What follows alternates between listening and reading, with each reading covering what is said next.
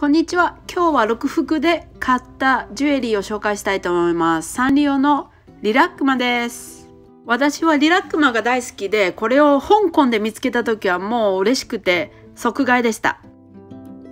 私は今アメリカに住んでるんですけども、六福のお店はニューヨークとサンフランシスコにあります。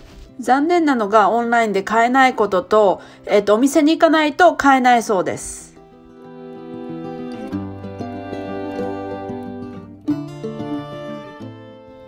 これは18金ホワイトゴールドで耳のところにダイヤが入ってます。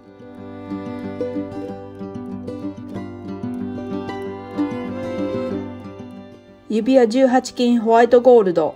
ダイヤが目のところにあるのと横にダイヤが並んでます。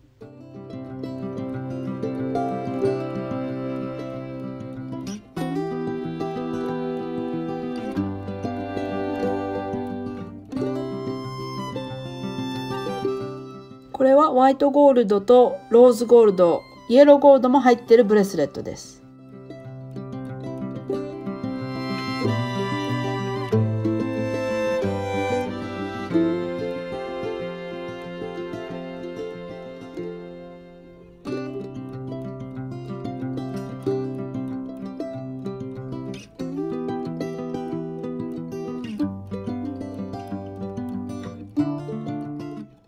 これはリラックマじゃないけど可愛いブレスレットだなと思って買いました。18金です。